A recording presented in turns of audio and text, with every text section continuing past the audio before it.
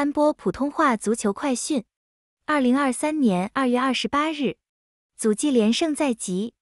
周三凌晨，意甲继续进行角逐，届时祖云达斯将会主迎托连奴。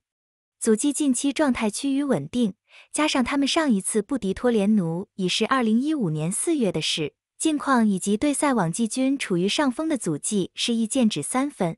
另外，M 直播届时将会有本场赛事的现场直播。虽然祖记此前经历了扣分风波，今个赛季起伏较大，但他们最近并没有因为联赛争冠无望而选择放弃本赛季。相反的，祖记上下越战越勇。欧洲联赛方面，如愿杀入到十六强，将交手费雷堡。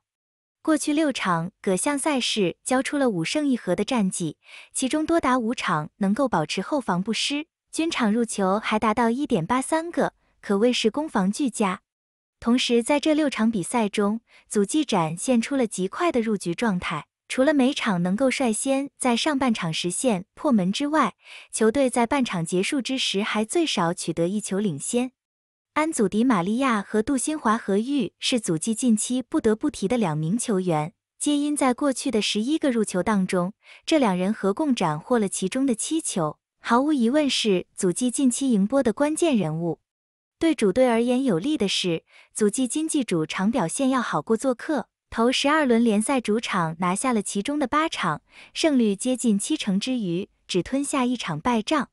另外，祖记主场攻防表现均场得失球比为二点零八比零点六七，都属于意甲前列。千禧年至今，祖记甚至从未在各项正式赛事主场输给过托连奴。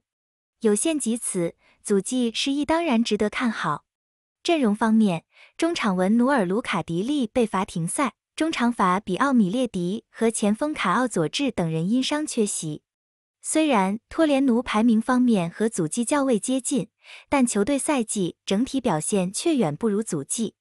要知道的是，托连奴联赛至今仅仅取得过一次连胜，还是最低消费的两连胜。同时，最近九轮联赛二胜五和二负的表现亦难以和祖季相媲美。亦证明了球队近期较为欠缺争胜能力。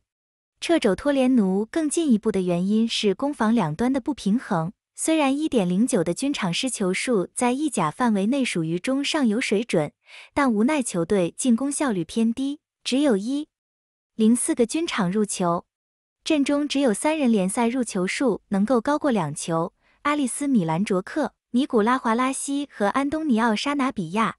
其中，安东尼奥·沙拿比亚是最 top 的攻击手，但亦不过是有五球进账。至于尼古拉·华拉西的伤缺，会一定程度上影响住托连奴进攻端的排兵布阵。考虑到托连奴最近三场各项做客赛事一和二负，目前更处于两连败之中，其中后防均场失球接近两球的同时，均未能在上半场取得入球。如此一来，他们此行未必能够抵挡得住上半场阻击方面的攻势。